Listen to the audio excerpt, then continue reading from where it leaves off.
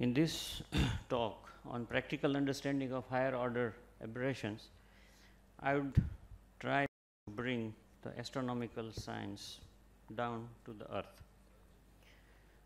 Uh, Harry Truman's this quote uh, that if you can't convince them, confuse them, is no more appropriate than talking about higher order aberrations, but I'll try to convince you rather than confuse you.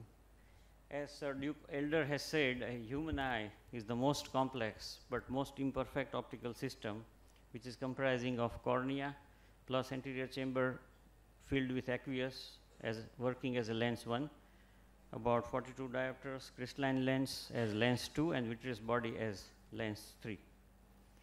But because this is a biological system and not truly a glass uh, system, it is prone to so many aberrations and so many errors because of the biological deviations. Now, what is an optical aberration? Now, optical aberration is a departure of an optical system comprising of lenses or mirrors from producing a truly perfect distortion free ideal image of a given object. Or we can consider it as a qualitative disparity between an object and its image. Or we can call it as an imaging defects. In simple words, it is loss of fidelity of an optical system, or you can tell it as an optical noise, and compare a hi-fi optical system, I mean, to a hi-fi optical system can be compared to a digital Dolby sound system. Or in other words, we can tell it that a point is not to the point. If the point source of light is not imaged as the point source of light, that means there is an aberration. So, a point not to the point is the aberration. Now, since uh, the evolution of the mankind, stars have been the best point source of lights for all of us. And because of the optical aberrations present in the artist's eye, the stars have been drawn with various kinds of radiations, right from the primitive art till the modern art, you can see wherever a star is drawn, the star is never drawn as a point, but usually as a radiating source of light.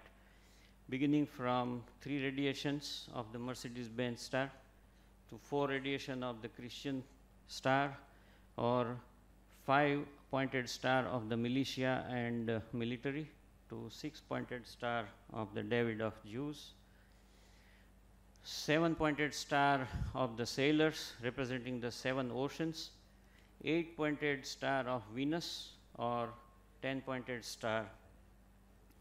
So, the stars have been drawn by various artists depending on how they see the stars.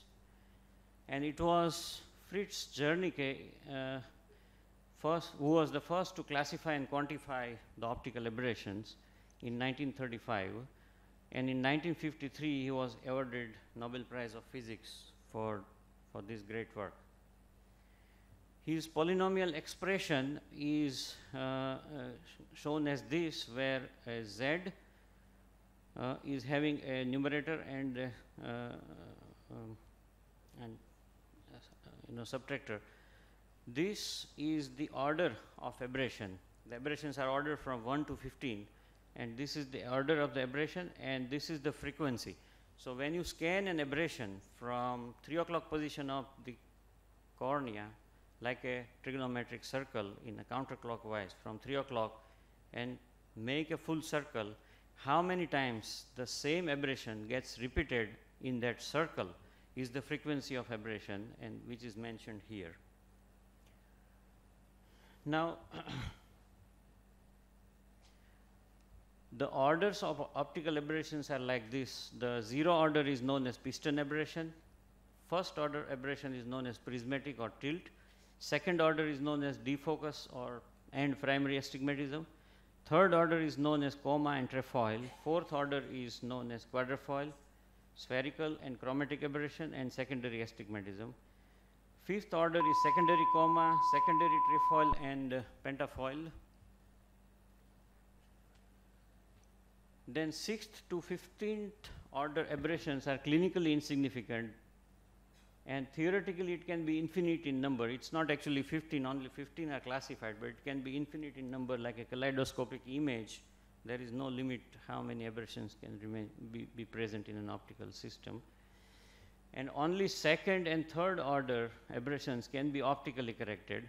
All the aberrations above the fourth order are corrected either by human intelligence, neuroadaptation, or by artificial intelligence in case of space uh, digital space uh, photography. So, to talk about any order above 4 is like balki khal nikalna. So, we will restrict our talk to aberrations up to order 4.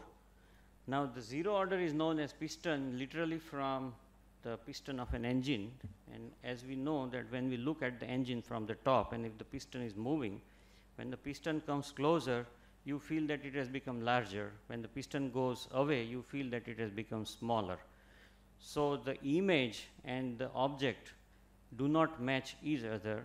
So, this is a quantitative variation actually not a qualitative variation and many a times it is known as not as aberration, but only as the magnitude of Uh, uh, sorry magnitude difference between the magnitude of the image versus the object.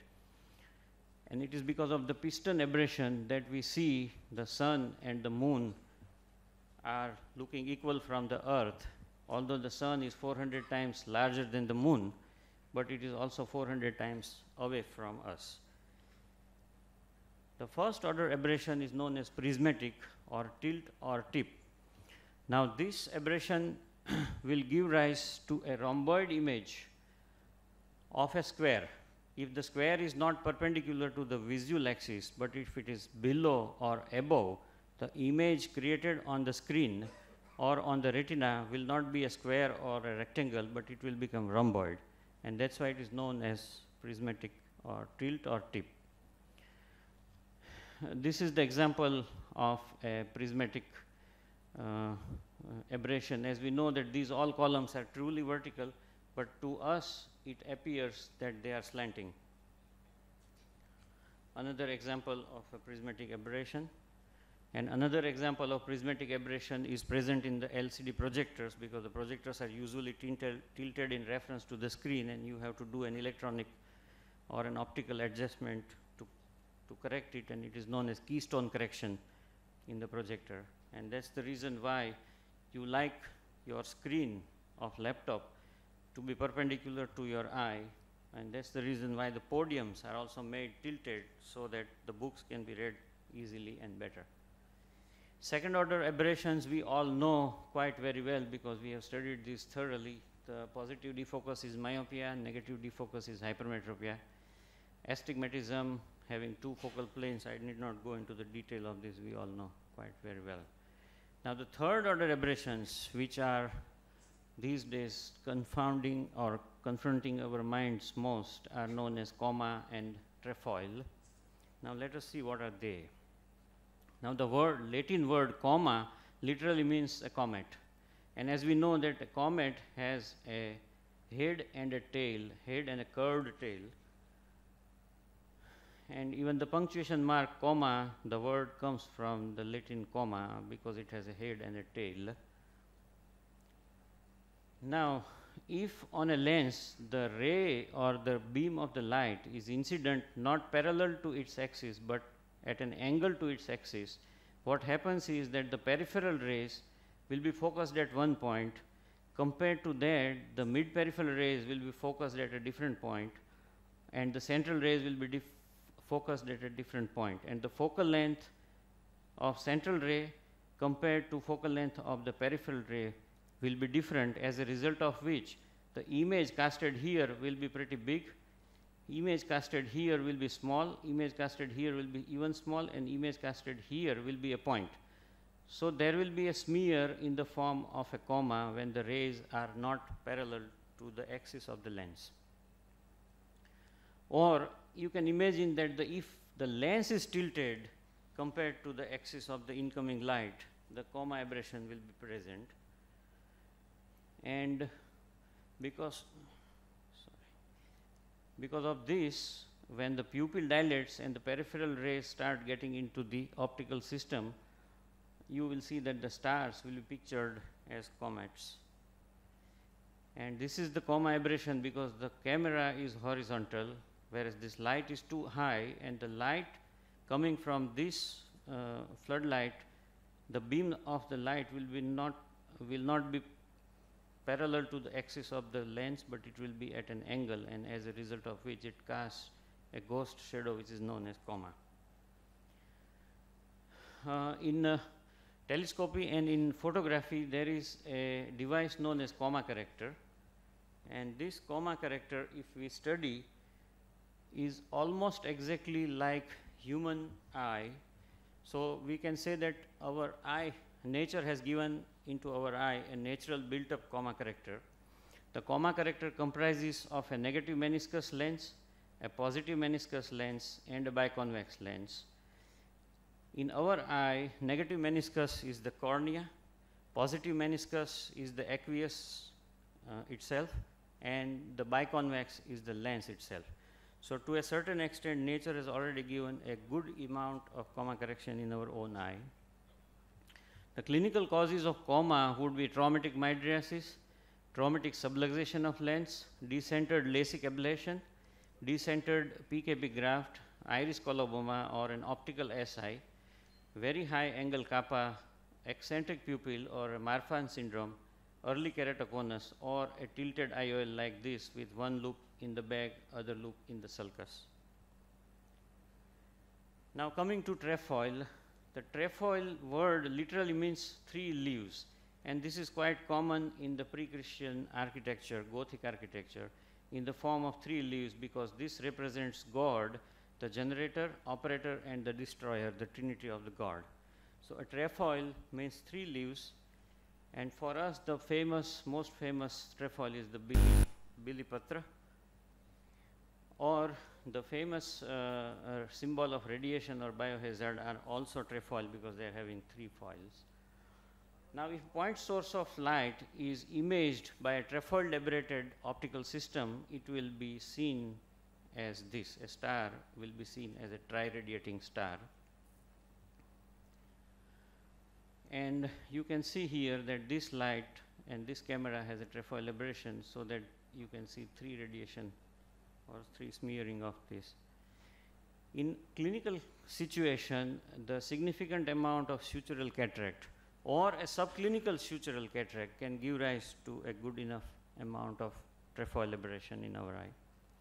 A cataract something like this also will give rise to trefoil aberration or a cataract something like this also will give rise to a significant trefoil aberration. Now coming to fourth order aberration which are spherical aberration, quadrifoil and secondary astigmatism.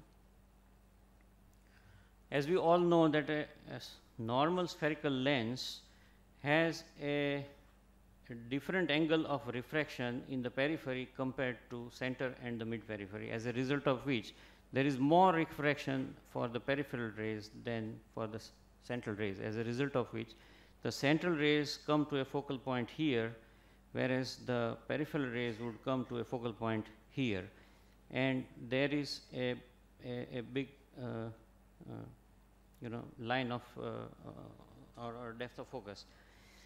In case of an aspheric lens, the surface gradient or the power decreases as you go from the center to the periphery as a result of which this refraction here will decrease and the, all the rays will come to a single focal point if the peripheral rays are focused in front of the central rays, this is known as positive spherical aberration. Whereas, if the peripheral rays are focused behind the principal, I mean the central focal point, then this is known as negative spherical aberration. And the spherical aberration, if it is significantly present in the eye, this will induce night myopia because in the night when the pupil dilates, the peripheral rays will start getting focused in front of the retina and there will be two images, so that causes night myopia. Uh, spherical aberration has an advantage that it gives a good depth of focus because it has a good number of focal points and gives a good depth of focus, whereas an aspherical lens has a very sharp focal point, but it does not give you any depth of focus.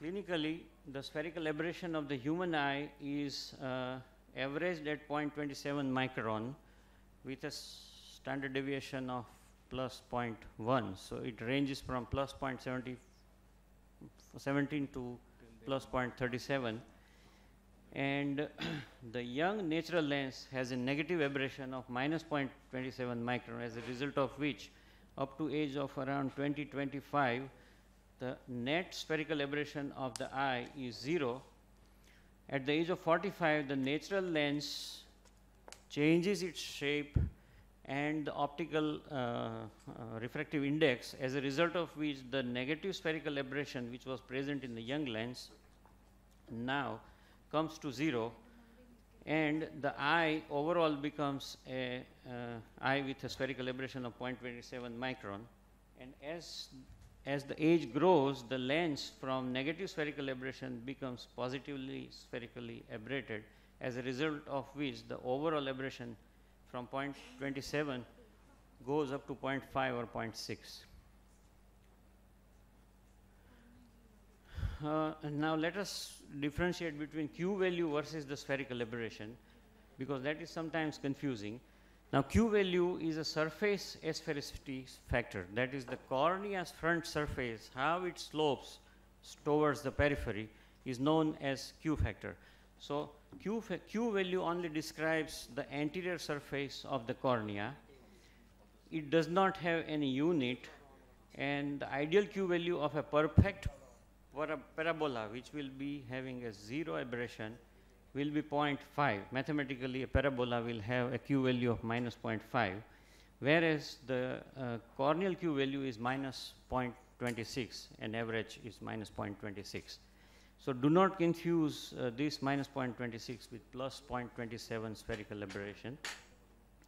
Now, spherical aberration is a wavefront measured Zernike RMS value that means it is a transmission factor. So, when the light goes in and comes out how much the light rays are deformed. So, a spherical aberration describes the transmission property or refraction property of the cornea and the eye as a whole whereas Q value only describes the surface asphericity. Uh, RMS is measured in micron, we will come to some slide in uh, uh, why it is measured in micron. The ideal value of spherical aberration is 0.00.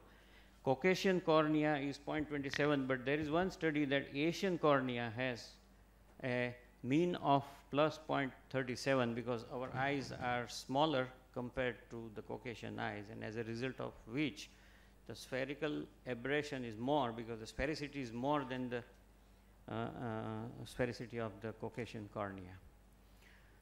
Uh,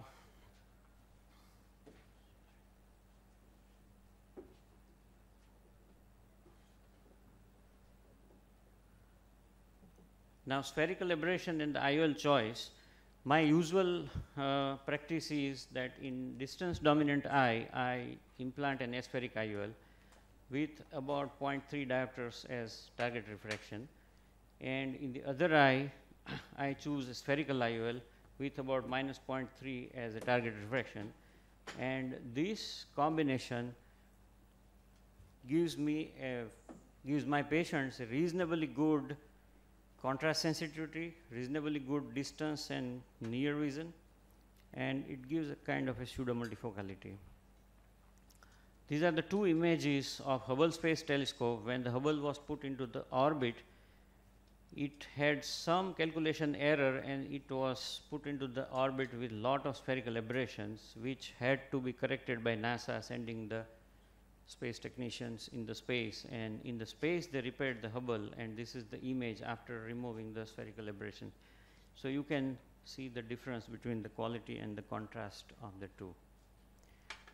Let us come to the quadrafoil. As the name suggests, quadra means four and foil means leaves. So these are, uh, you know, in the Christian uh, architecture, you can see the quadrafoil quite very well in all the doors representing the cross.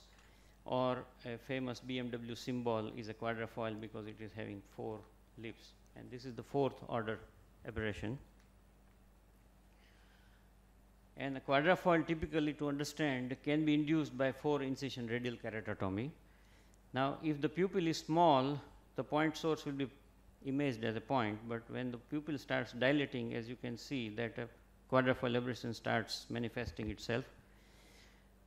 More dilated pupil 4 millimeters there is a classical quadrifoil aberration and at 5 millimeters there is a further quadrifoil aberration and as you can see that the contrast and the illumination brightness decreases as the pupil increases because of the aberration.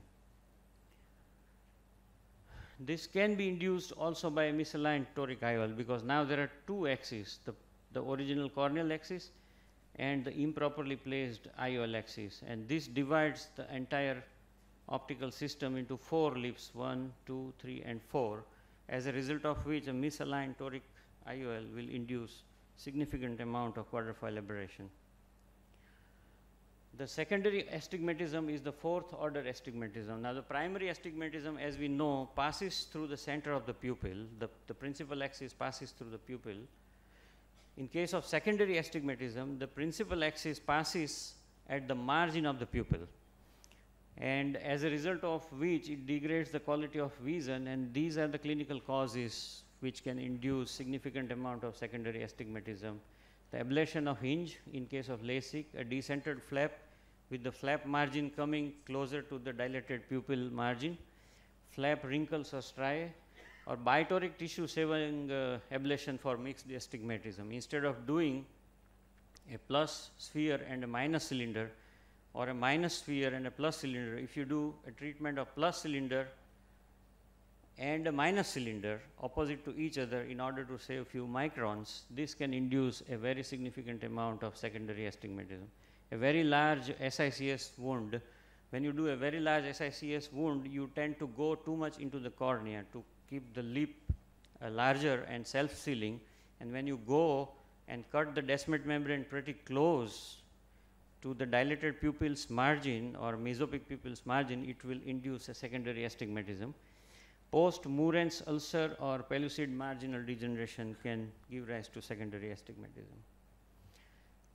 Now, further than this, there are so many pentafoil, hexafoil, octafoil, nonafoil, so many kinds of aberrations which can be described, but which are clinically not correctable by optics and which are not very significant and this can be induced by multi-incision RK or this kind of uh, uh, cortical cataract. Look at this cataract when the pupil is nice um, is small the vision is nice in daytime but when the pupil dilates it it will induce number of foils and uh, aberration. This is the Zernike's uh, uh, map of the aberration it is known as Zernike's pyramid and the, uh, uh, the aberrations are calculated in RMS value which is the square root of the square of the mean which I will explain in, the, in this slide. The RMS value is calculated like this each peak and the corresponding valley. For example, if you take this map you can see that there are three peaks 1, 2 and 3 and these are the three valleys. So, there are three peaks and three valleys. That means this is a trefoil aberration because there are three peaks and three valleys. And the difference height difference between the peak and the valley will give you the delta of the wavelength. That is the difference between the peak and the valley will give you the amount of aberration. So, and that is measured in nanometers in the wavelength of light. So, how many nanometers uh, height versus how many nanometers depth. So, nanometer square the average of three such value in case of a trefoil is taken which is then divided by 28.26 square millimeter because by convention the optical aberrations are measured in a pupil of 6 millimeters diameter even if the pupil is widely dilated only 6 millimeters is counted and the area of the circle of a 6 millimeter is 28.26 square millimeter. So, when you measure a nanometer square divided by 28.26 square millimeter, the resulting product will be a uh, lambda divided by uh, millimeter, which will end up, I mean the nanometer divided by millimeter, which will end up as a product of a- as a micron. So, it is known as micron or micrometer or sometimes it is also known as microm.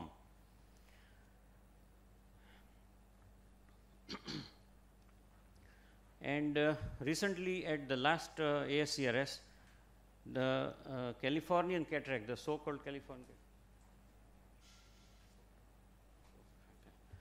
the uh, if the if there is too much significant aberrations present in a clear lens then also it will be known as a cataract. And the term now has been defined as Zernike cataract from in, in this ASCRS and the term was coined by Dr. Abhay Savda and if a point source of light is focused here you should be able to see it as a round nice spot. I'll do a small experiment and ask you all to see this laser point. Close your one eye and see the laser point whether you are able to see it as truly as a point or does it radiate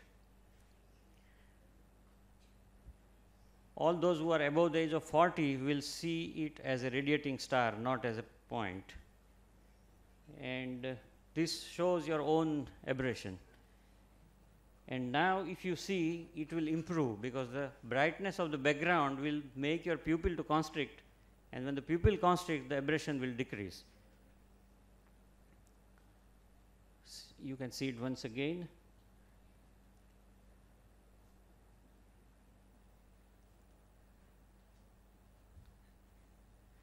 well i tried my best to differentiate between an ipad and an ipad and uh, as Dr. Zernike said, more aberrations are induced by this glass than any other glass.